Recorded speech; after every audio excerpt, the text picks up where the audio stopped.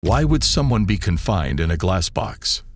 If you've ever heard of terrifying criminals, you might have encountered Robert Maudsley, who is also known as the UK's most evil prisoner. In 1974, Maudsley committed his first murder, setting off a string of horrific crimes. Over the years, while serving a life sentence for one murder, he was involved in three additional killings within prison walls. Isn't that shocking? Can you believe this? He killed his inmates with a plastic spoon. This spent 20 hours every day in here, and uh, I've done so for almost four years. It's true to say my whole world revolves around the actual cell itself. Later, he was confined to a glass box where he had to stay for 23 hours daily.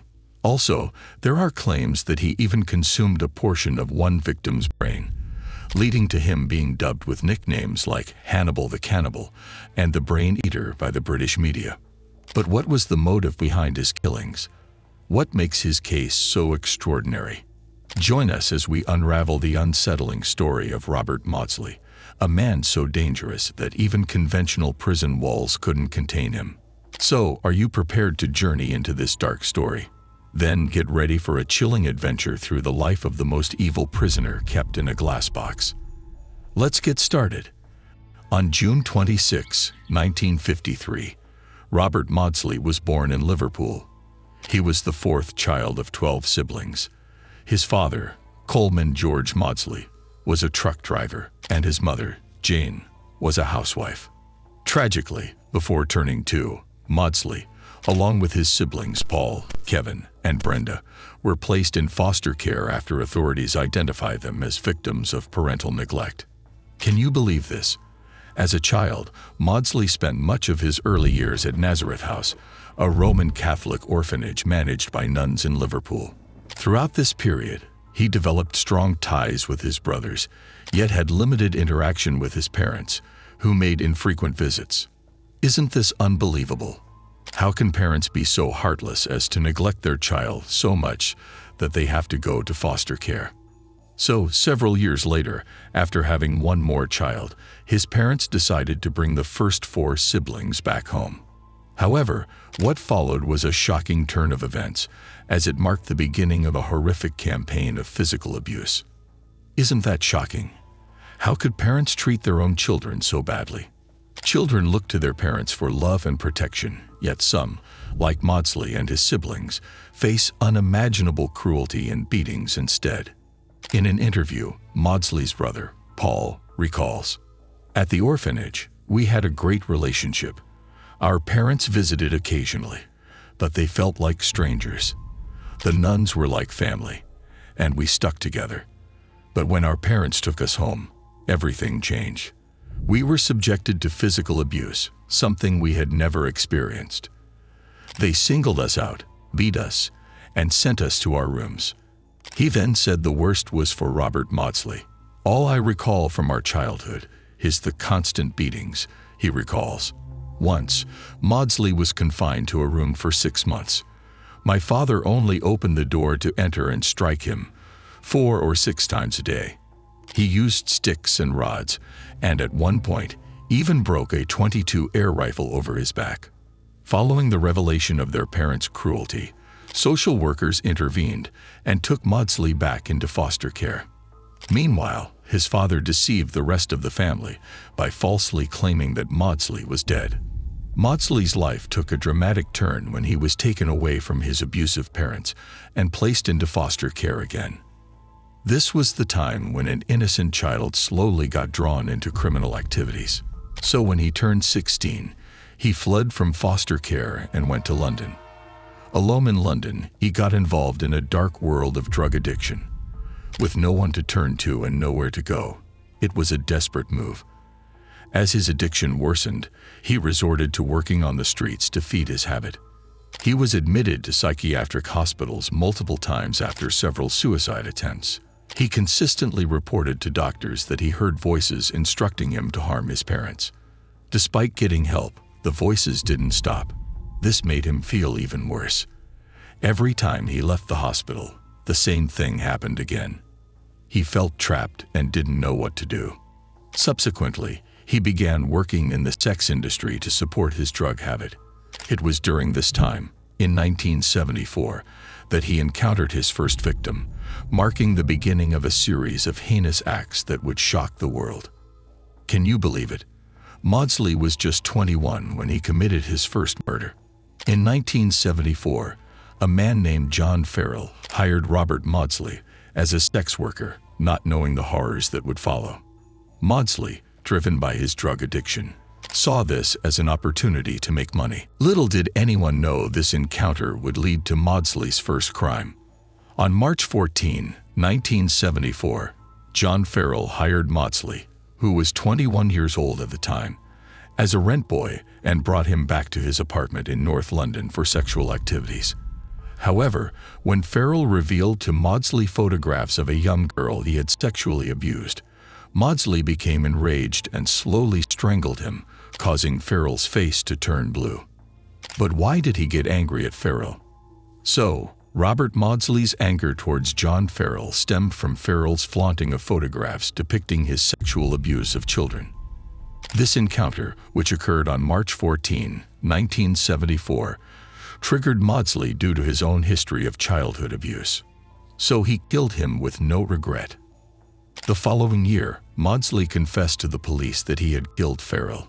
However, instead of putting him on trial, they sent him to psychiatric care at Broadmoor Hospital. They believed he was too ill to face trial. He was confined there for three years, receiving treatment for his mental health issues. However, despite efforts to rehabilitate him, his condition continued to deteriorate. So what happened next would cement his reputation as one of Britain's most evil criminals. After his time at Broadmoor Hospital, Maudsley's actions took an even darker turn. Instead of rehabilitation, he committed a series of gruesome murders within the confined walls. So this is what he did next. In 1977, while at Broadmoor Hospital, Maudsley and inmate David Cheeseman tortured a fellow prisoner, David Francis, who was a convicted child molester, for nine hours until he died. They tortured him relentlessly for nine grueling hours, subjecting him to unimaginable suffering. Shockingly, they used nothing but a plastic spoon to carry out the killing. The brutal act stunned everyone in the hospital and outside. They used a simple plastic spoon to kill their fellow prisoner, which shocked people even more. It made everyone wonder if the hospital was safe enough and if mental health care was working properly. But how did they kill Francis with a spoon? During the brutal assault, Maudsley used a spoon as a weapon, forcefully plunging it into Francis's ear with such force that it penetrated deep into his brain. This act of violence was not only a violation of Francis's physical integrity, but also a shocking display of aggression. The attack was so severe that it caused significant damage to Francis's ear and brain, potentially leading to his death. So, when the guards heard the noise, they immediately broke the door and found the dead body of Francis. His head was terribly injured, like it had been cracked open, and there was a spoon sticking out. Even more shocking is that a guard said that Maudsley had eaten some of the man's brain. This made people think of him as a cannibal, even though it turned out that this scary detail was not true. He was then sent to Wakefield Prison, also called Monster Mansion, after getting a life sentence for manslaughter. There, people started calling him cannibal and brain eater right away. Did you know? Robert Maudsley earned the nickname Hannibal the Cannibal due to a false rumor that he had eaten part of a victim's brain during a brutal assault in prison. Despite the autopsy report disproving these brain-eating rumors, the sensationalized nickname persisted in the British press, contributing to Maudsley's infamous reputation. His terrible acts showed how dangerous he was and how hard it was to control him, even in confinement. Despite his confinement, he was still able to commit terrible acts, and his reputation as a dangerous and unpredictable inmate made him a figure of fear and fascination in the criminal justice system. However, his criminal actions didn't stop there. They worsened as time went on. In a shocking revelation, it's been said that in Wakefield Prison, Maudsley told his fellow inmates he wanted to kill seven people in one day. This revelation startled those around him, raising concerns about the extent of his dangerous intentions and making everyone worried about what he might do next. On July 29, 1978, in a shocking turn of events, the criminal went on a violent spree here, killing two other inmates in one day.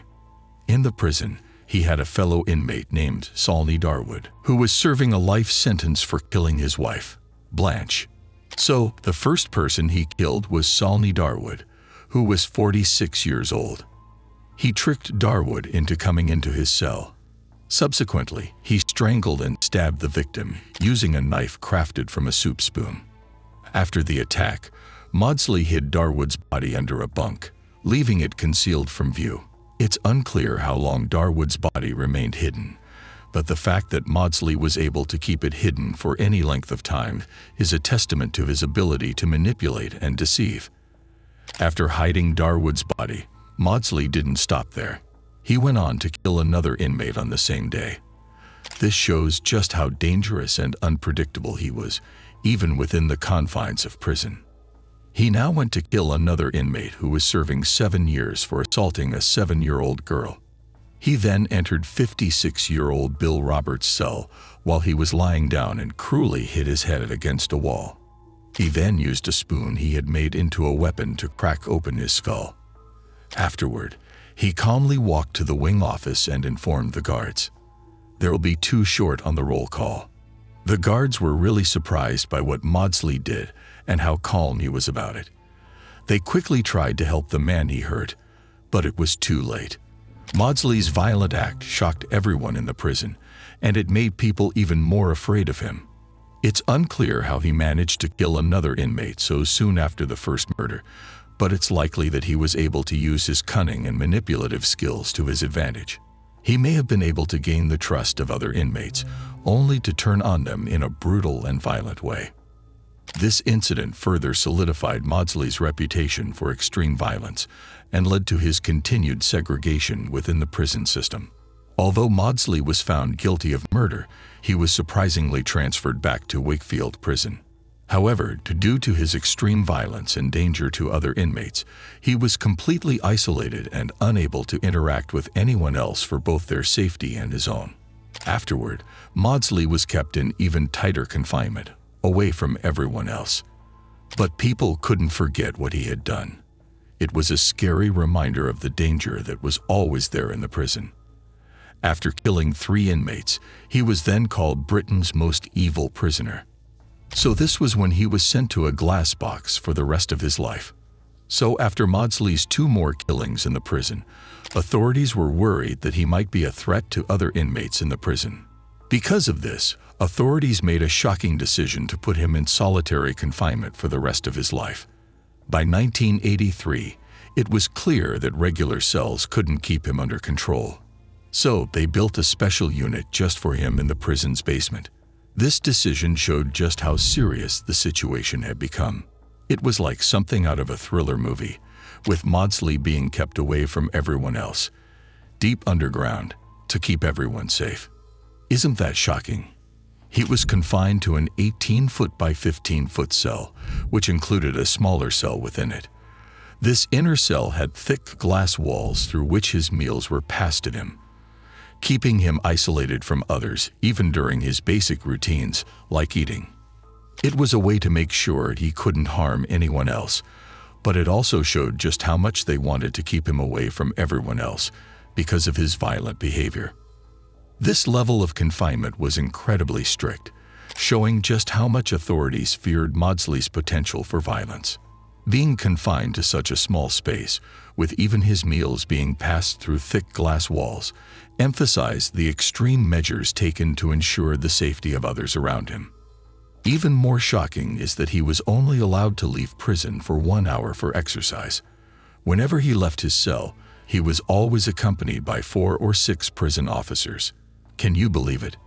At the age of 70, Maudsley spends a staggering 23 hours every day locked inside a cell. His bed, just a hard concrete slab. And if that's not grim enough, the toilet and sink are both bolted to the floor. It's a truly bleak existence. In a shocking development, Maudsley is now considered very dangerous.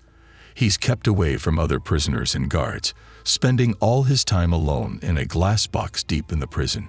He won't ever be free again and stays in the small see-through room he's lived in for many years. So, what is that glass box made of?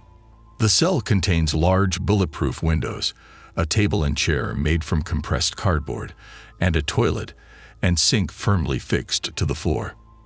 A robust metal door opens to a tiny compartment within the cell, encased in thick perspex. A small opening at the bottom allows food to be delivered to him. Maudsley's world became confined to the four walls of his cell, with limited interaction and little exposure to the outside world. Days turned into weeks, weeks into months, and months into years, all spent in solitary confinement. Imagine being alone like that for so long. It's hard to know what he was thinking or feeling during all that time. But his story shows just how tough it can be to be cut off from other people for such a long time. So you might be wondering what was his motive behind all these killings. Let's get into that. In his final murder trial in 1979, the courtroom was stunned to hear that during his violent actions, Maudsley actually thought his victims were his parents. His lawyers argued that the killings stemmed from pent-up rage built up from enduring constant abuse during his childhood. Maudsley said, During my violent acts, I think about my parents. If I had taken their lives in 1970, none of these other people would have had to die. If I had done so, I would be a free man today without any worries.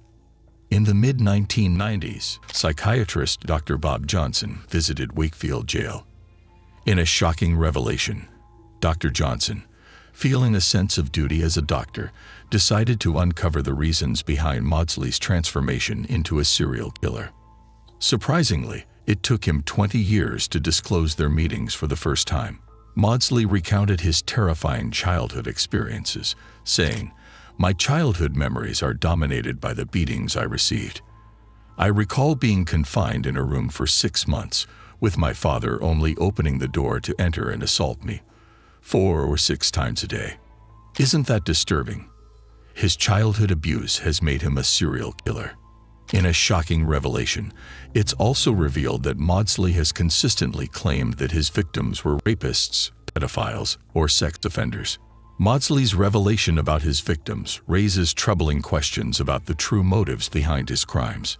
Despite the severity of his actions, it's clear that his troubled upbringing and experiences of abuse have left a lasting impact on his psyche. Yet, it's crucial to remember that such trauma, while deeply influential, does not excuse or justify his violent behavior. It's a reminder that understanding why people commit crimes is complex and challenging. His isolation in the glass box was so extreme that he went without a haircut for an astonishing 12 years. Why? Because no prison barber dared to approach him. Everyone was scared of him. The refusal of even a basic grooming service highlighted the extreme measures taken to contain and manage a man whose reputation for violence and brutality had become legendary within the prison walls. Even though he was alone, his reputation made everyone uneasy. Some guards said he sometimes showed kindness or intelligence, but most people were scared of him because of his violent past. During his initial days in solitary confinement, Maudsley reportedly formed a bond with cockroaches, finding solace in their presence. Guards saw him talking to cockroaches. Maudsley's health has declined in recent years, and there are concerns about his mental health.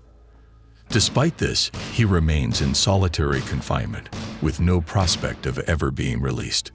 Isolated within his cell, Maudsley occupies himself by writing letters and composing poems addressed to his nephew Gavin, who faithfully visits him in prison. In a letter, the 70-year-old Maudsley expressed, The prison authorities see me as a problem, and their solution has been to put me into solitary confinement and throw away the key to bury me alive in a concrete coffin. In 2000, he pleaded with the courts to let him die. In one of his letters, he wrote, What purpose is served by keeping me locked up 23 hours a day? Why even bother to feed me and to give me one hour's exercise a day? Who actually am I a risk to? He even wrote in his letter that, due to his current situation and solitary confinement, He fears that he is on a path towards mental decline, illness, and potentially suicide. He asked why he could not have his pet budgie instead of the cockroaches and spiders he currently has. He said that he promised to take good care of it and not harm it. In his letter, he also explained why he couldn't have a television in his cell to keep up with the world and expand his knowledge. Why can't he have access to some music tapes and enjoyed beautiful classical music? He also wrote that if the prison service refuses, then he requests a simple cyanide capsule that he will willingly take. This way, the issue of Robert John Maudsley can be resolved quickly and easily. But in a shocking turn of events in 2021, Maudsley's appeal to integrate into the general prison population was denied. Prison authorities have made the chilling determination that he poses too grave a threat to be allowed contact with other inmates. As a result, he will spend the remainder of his days confined to his glass cell, isolated from the outside world and anyone within the prison walls. Gavin Maudsley, Robert Maudsley's nephew from Liverpool, shared on Channel 5's Evil Behind Bars that his uncle had come to terms with his situation. Gavin mentioned that Robert preferred to be alone because he was aware of the dangers around him. He expressed Robert's intentions to target sex offenders, as he believed they deserved punishment. Gavin clarified that while he doesn't support Robert Maudsley's actions, he emphasized that Robert's victims were individuals he considered to be very bad people, not innocent. This highlights the complexities of Maudsley's case and the ongoing debate about the appropriate treatment of violent offenders. Despite his isolation, Maudsley has maintained contact with the outside world through letters. He has also expressed remorse for his actions and has spoken about his desire to be rehabilitated. However, his violent tendencies have persisted even within the confines of prison, where he has committed additional murders. Can you believe this? A prison officer from one of Britain's toughest prisons has shocked many by suggesting that Hannibal the Cannibal, a notorious serial killer, should be removed from solitary confinement. Neil Samworth, who has worked at HMP Strangeways in Manchester for over a decade, is of the opinion that Robert Maudsley should no longer be confined in isolation in his glass cell. In one of his interviews, he said, I think it's wrong the way he has been treated. He is in total isolation, and it's not fair. He also said, yes, he has had lots of fights in the past, but he is an old man now. He even said it was not fair to keep him in solitary confinement for the rest of his life. He should be given a chance to live a more normal life in prison, even if it is in a high-security wing with other dangerous prisoners. Samworth's comments have sparked a debate about the treatment of long-term prisoners and the use of solitary confinement. Some argue that Maudsley's isolation is necessary due to the danger he poses to others, while others believe that it is inhumane and amounts to psychological torture. In Maudsley's case, his isolation has been particularly severe, with limited human contact and sensory stimulation. This has likely contributed to his deteriorating mental health and behavioral problems. He even said that Maudsley's case is unique in that he has been held in solitary confinement for over 40 years, a situation that is highly unusual and arguably unjust. While he has committed horrific crimes, it is important to consider his human rights and the long-term effects of isolation on his mental health. A notorious serial killer, Robert Maudsley, from Liverpool, has marked his 50th consecutive Christmas in confinement. Is that not astonishing? Maudsley, who is now 70 years old, has become the longest-serving inmate in the UK's penal system. He has been separated from other prisoners for 45 years, which is believed to be a world record. Maudsley's crimes were particularly heinous, and he was given a life sentence without the possibility of parole. He was convicted for the murders of four men, but it is believed that he may have killed up to 10 people. Maudsley's crimes are nothing short of heinous. Convicted of murdering four men, his name sends shivers down the spines of those who hear it. Yet there are whispers of even more victims, suggesting a darker, more sinister side to his already gruesome tale. Despite his age, the passage of time has not lessened the shock and horror surrounding Maudsley's actions. Each year that passes serves as a grim reminder of the lives he has taken. As time passes, Maudsley's name remains linked to his awful crimes, reminding everyone of the scary side of humanity. Maudsley will remain jailed for the rest of his life, until he dies behind bars, serving as a reminder of the consequences of his actions and the impact they have had on his life and the lives of those around him. His life has been defined by extreme violence and isolation, as he has spent over 16,600 consecutive days alone in a bulletproof cell. His long years of isolation and confinement underscore the lasting impact of his crimes and the need for effective measures to address violent behavior. When we examine the life of Robert Maudsley, we are confronted with the chilling reality of a man consumed by darkness. His journey from a troubled childhood to becoming Britain's most evil prisoner is a testament to the profound impact of trauma and isolation. Robert Maudsley, a mass murderer serving a life sentence for brutally ending the lives of four individuals, will spend the rest of his days in a specially constructed glass box. Maudsley's existence in his glass box beneath Wakefield Prison serves as a haunting reminder of the depths of human depravity and the lengths society will go to contain it. His story, though unsettling, compels us to confront the complexities of the human psyche and the importance of understanding and addressing mental health issues. In the end, while Maudsley's actions may never be justified, his tale serves as a cautionary reminder of the darkness that resides within us all. This concludes this unique story. If you enjoyed it, please like, subscribe to the channel, and turn on notifications to stay updated on future content. Be sure to explore our other fascinating videos as well. Thank you for watching. Until next time.